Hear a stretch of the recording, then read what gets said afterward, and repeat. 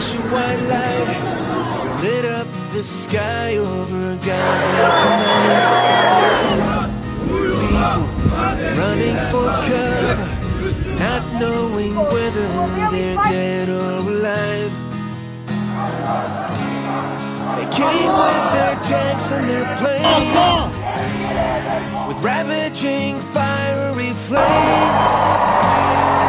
Nothing remains, just a voice rising up in the smoky haze. We will not go down in the night without a fight. You can burn up our mosques our homes and our schools, but our spirit will never die. We will not go down in Gaza tonight.